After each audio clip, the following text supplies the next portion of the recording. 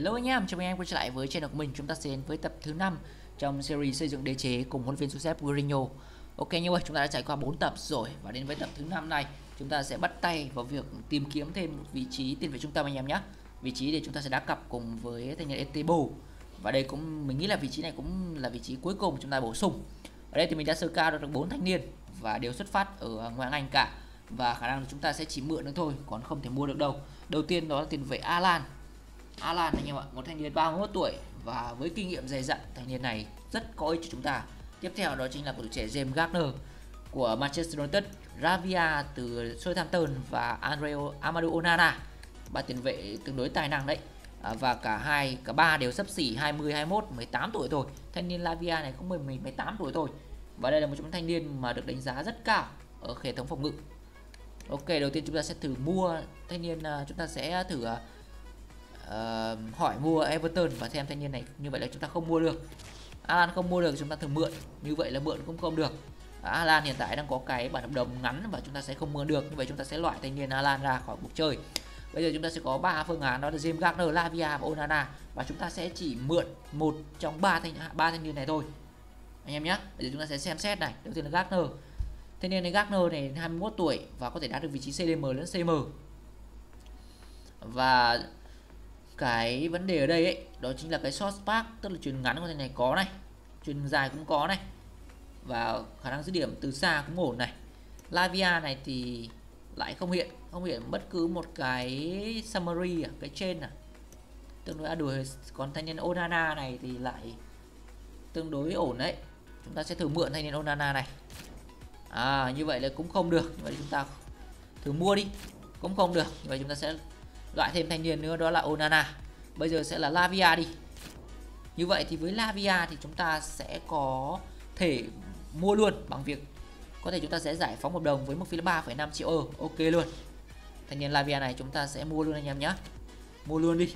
Đây cũng là một chúng thanh niên có thể gọi là rất sáng đấy. Rất sáng.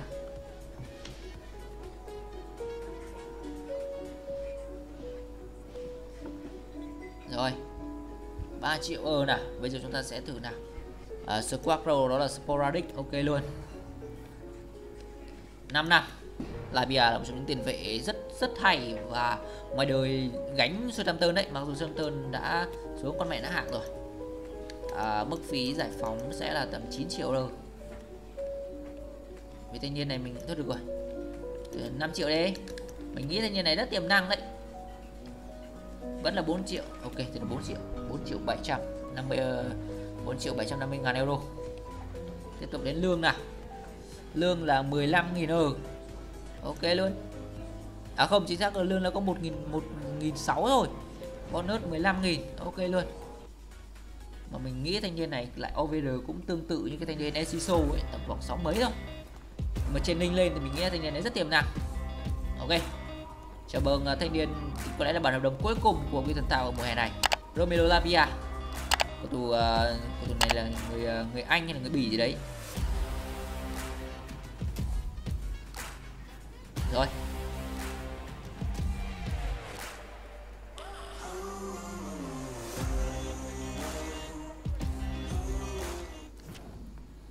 Rồi ok anh em ơi.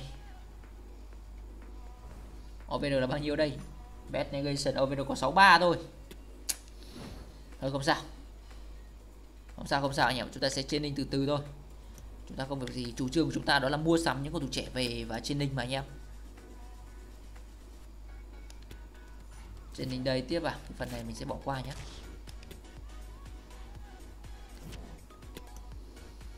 rồi chúng ta sẽ đá với câu lạc bộ Portsmouth tại vòng uh, vòng 4 vòng 4 của giải hạng 2 và chúng ta đang đứng thứ hai.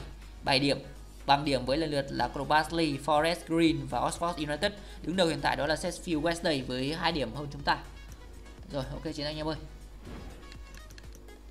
Đây rồi, cơ hội đầu tiên chúng ta cần phải à, chúng ta sẽ phải có những sự à, luân phiên điều chỉnh để nhằm giữ sức. Lavia thanh niên này mình nghĩ sẽ xuất phát ngay từ đầu luôn để đá cặp với Wagner mặc dù cái OVR nó hơi thấp nhưng mà không sao tiếp tục là vị trí trung vệ. À đây là một trong những vị trí cũng tương đối đau đầu đấy. Trung vệ của chúng ta hiện tại ngoài Sơ Loan ngoài uh, Barkley rồi là Stephens ra thì không có trung vệ nào thực thụ. Thôi mình sẽ để cho Anderson này đi. Esiso à Esiso sẽ chút phát ngay từ đầu luôn. Những cầu thủ trước đó thì mình sẽ cho trên bằng cái dự bị chúng ta sẽ phải có những sự điều chỉnh. Chúng ta sẽ có những thay phiên luân phiên với nhau anh em nhá để giữ sức. Một một một mùa giải mà sẽ kéo dài tới 46 vòng mà ok chiến tôi anh em ơi chúng ta sẽ làm cách chiến sân màu thì mình phải đổi cái áo cái đã. Chúng ta sẽ cho ra mắt luôn cái áo thứ ba. À không áo này cũng được. Thôi tôi vẫn mặc áo này đi. Áo thứ ba nó lại trùng với à, chính xác hơn áo thứ hai nó lại trùng với áo sân nhà của Portsmouth rồi. Ok anh em đừng quên like share và đăng ký kênh để ủng hộ mình nhé. Cảm ơn anh em rất nhiều.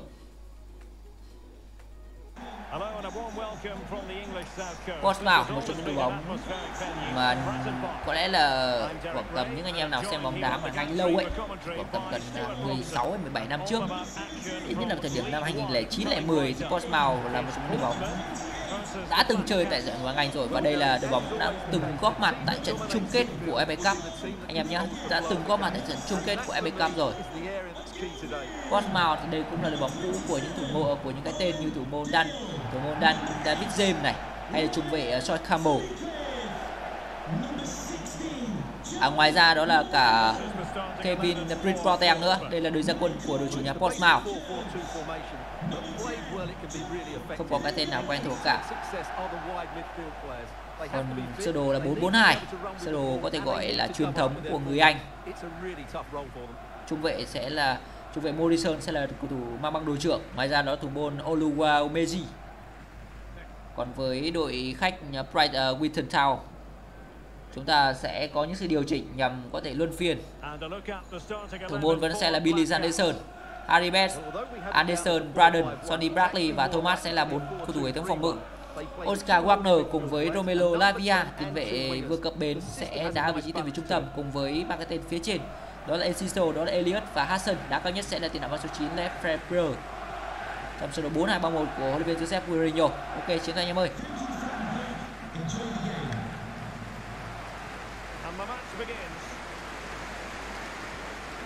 hay quá. Một cắt bóng của Elliot. Elliot. Đây là Esiso Esiso Lavia. Ủa sao góc máy này nó cao vậy?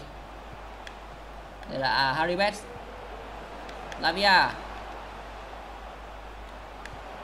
Asen và đã phán góc dành cho đối khách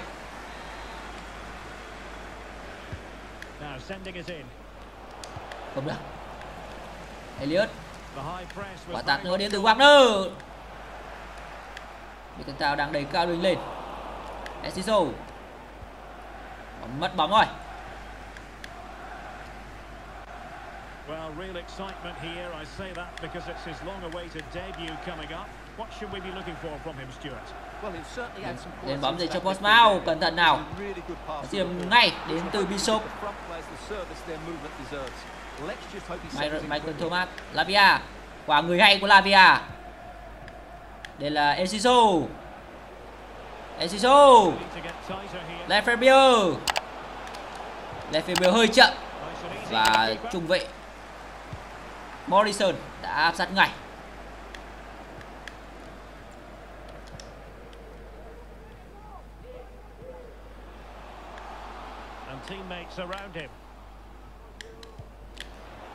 Đây là lên bóng dành cho Bournemouth Và cắt bóng đến từ trung vệ Prali Lamia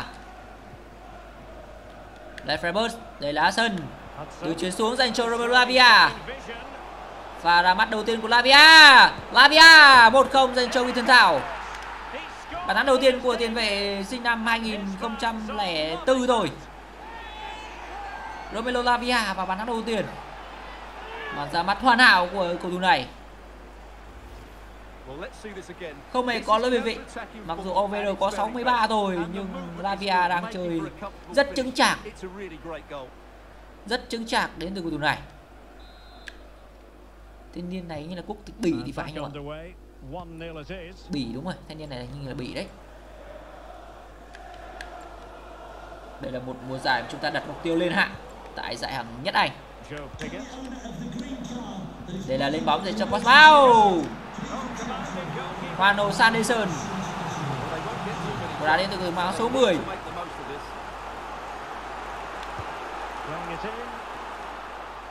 Bishop.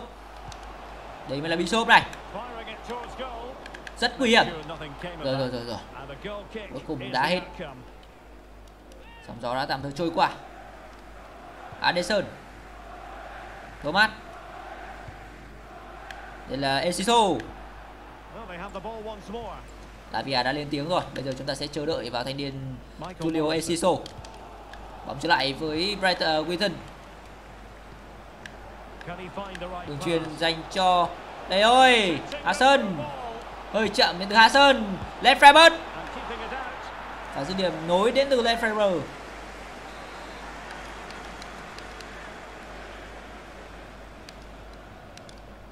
Và đá phạt đến từ Elliott. Và làm tường.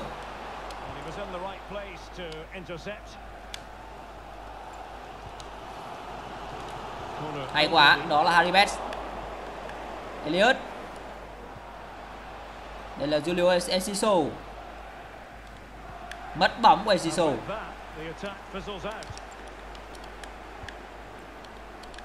Hay. Lavia. Elliot Lavia. Và bấm ngay của Lavia, Nhưng nó là quá nhẹ với thủ môn Nolu Wajemi Newton đang khiến cho Bournemouth khó lên bóng, mà chúng ta cũng không nên chủ quản trung vệ Anderson lẫn Barkley đang là một trung vệ rất tốt. Ôi rồi ôi, penalty à? Một pha bóng chấm hỏi đến từ trọng tài. Người phạm lỗi đó là Anderson trời ơi chúng ta sẽ xem một pha vật ngược lên và penalty rồi. thật khó hiểu. cơ hội sẽ được trao dành cho cầu thủ áo số 10 và chúng ta sẽ trông chờ vào Billy Sanderson người đứng trong bóng đó là Pigos. Pigos và Sanderson! Không được. Như vậy là một đều dành cho Portsmouth. Bàn thua trên chấm phạt đền thứ hai của chúng ta tại mùa giải năm nay rất khó hiểu. Thực sự là rất khó hiểu với ờ, phạm phạm lỗi của trung vệ Anderson. Trung vệ có thể gọi là thứ ba à, thứ tư của Wilton Town ở trận này. Chúng ta khả năng chúng ta sẽ không không bổ sung anh em nhé. Chúng ta sẽ chúng ta có lẽ sẽ đóng luôn cái kỳ chủ trưởng mùa hè của chúng ta. Với bản hợp đồng cuối cùng đó là Lavia. Ơ ờ, lỗi chúng ta đang bị bắt ép, đang bị xử ép khá nhiều rất nguy hiểm Juan Billy Sanderson phút cuối và Bournemouth đã suýt chút nữa nâng tỷ số lên thành 2-1 rồi. Hiệp một khép lại luôn.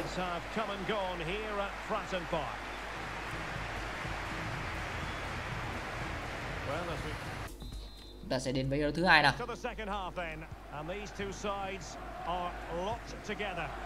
Exiso. Elliot. Đây là Harry Best, Lavia. Lavia đang chơi đang có màn ra mắt ổn ít nhất là ổn còn thanh niên Eziso thì lại đang cũng đang ổn nhưng không được vẫn còn này không được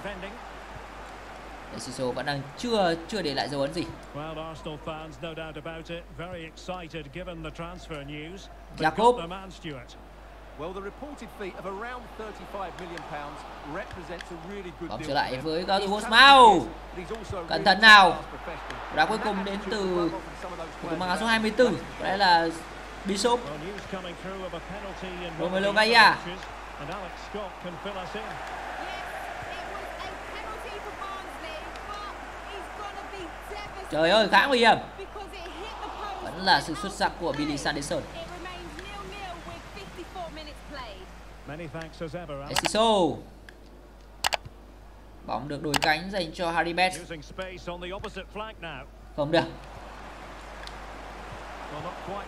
Kia chuyển lỗi nhiều quá. Cẩn trọng nào. Wagner Lavia Đây là Hassan Lefebvre Đây ơi Esiso Không vào. Quá tiếc dành cho Julio Esiso quá tiếc quá tiếc dành cho thủ môn Paraguay. Một bàn thắng thì có thể giải tỏa đi những áp lực dành cho cung trẻ này.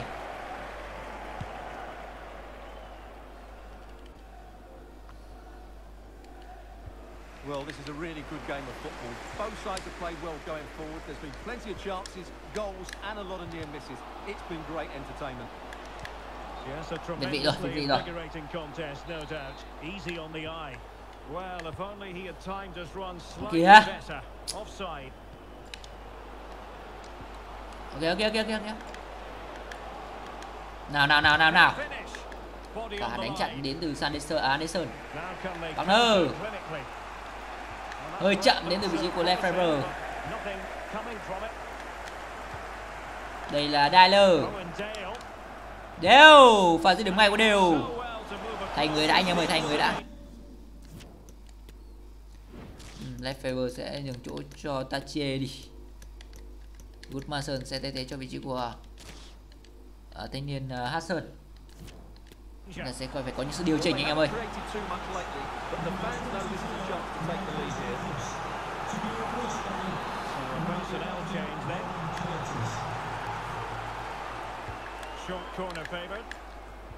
Và cắt bóng đến từ out.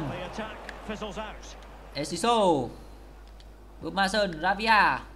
Well, I'm hearing there's been a goal in one of the other games, and Alex Scott can fill us in. Esiso Yeah, đây là Michael Thomas. Thomas. Elliot Elliot không vào Bóng đi vọt xa sau cú đá của He Elliot. khoảng trống đã lộ ra rồi, rất tiếc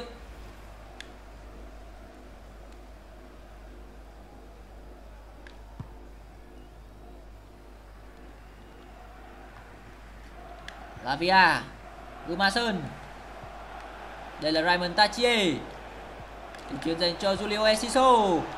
Phải phối giữa Elio và đây rồi không vào. Quá đèn dành cho now. Cú đá cuối cùng đến từ vị trí của Raymond Tachie một cầu thủ trẻ nữa mà chúng ta đang cực kỳ hy vọng. Lavia. Không được. Trời ơi, tiếc quá anh em ơi. Đến bóng dành cho something positive? Trời ơi, khá nguy hiểm. Bishop vẫn là sự xuất sắc của thủ môn này. Billy Sanderson vẫn còn. Không được. Raymond Tachie. Gumason. Lavia. Rất hợp lý, không việt vị. Gumason. Gumason. Không được sẽ có góc, sẽ có góc cho Witten.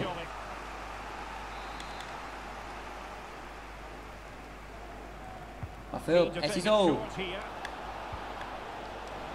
Lavia! Sẽ có góc nữa. Đúng là Lavia đang chơi rất hay nhá. Rất đáng những gì mà chúng ta đã bỏ ra. Esiso Esiso đang ghi bàn và hai đều, hai một rồi. Little. 2-1 anh em ơi. Chúng ta sẽ có được 3 điểm trên sân vận động của club Portsmouth Và đó là Julius Esiso Hai cầu thủ 18 tuổi đều ghi bàn ở trận đấu này. Rất cảm xúc Và dứt điểm bằng chân phải, chân trái Chân không thuận của Julio. Esiso Người vừa làm tường đó là trung vệ Sonny Bradley. 2-1 rồi, một chiến thắng ở những phút cuối cùng của trận đấu này Một bàn thắng giải tỏa đến từ Julio Esiso Và hết giờ. Chiến thắng nữa dành cho Wheaton Chúng ta đã có được 10 điểm rồi 10 điểm sau 4 vòng. Chúng ta đã vượt vượt được cái sự khó khăn nhờ hai cầu thủ 18 tuổi thôi đó là Lavia và Esiso Ok anh em ơi tập thứ 5 trong series xây dựng đế chế cùng với huấn luyện viên Joseph Mourinho cũng đến đây là kết thúc. Cảm ơn anh em. Đừng quên like share và đăng ký kênh để ủng hộ mình. Chúng ta đang hướng tới cột mốc 5.000 người đăng ký sớm nhất có thể. Bây giờ thì xin chào và hẹn gặp lại anh em trong những tập tiếp theo của kênh